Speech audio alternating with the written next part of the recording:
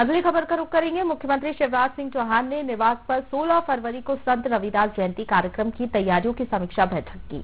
मुख्यमंत्री ने जिलों के प्रभारी मंत्री और जनप्रतिनिधियों को कार्यक्रम के आयोजन के लिए आवश्यक दिशा निर्देश दिए।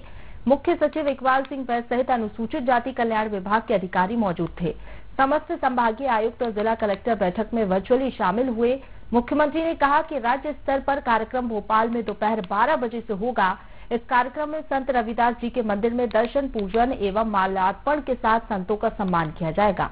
अनुसूचित जाति के प्रशिक्षणार्थियों के कौशल उन्नयन के लिए स्वीकृति पत्रों का वितरण भी होगा। उन्होंने कहा कि कार्यक्रम में अनुसूचित जाति सहित सभी वर्गों और संगठनों की सहभागिता होगी। जनता के सहयोग से कार्यक्रम को प्रभावी बनाया जाएगा। स्थानीय जनप्रतिनिधियों की उपस्थिति के साथ जन कल्याणकारी योजनाओं का प्रचार प्रसार होगा।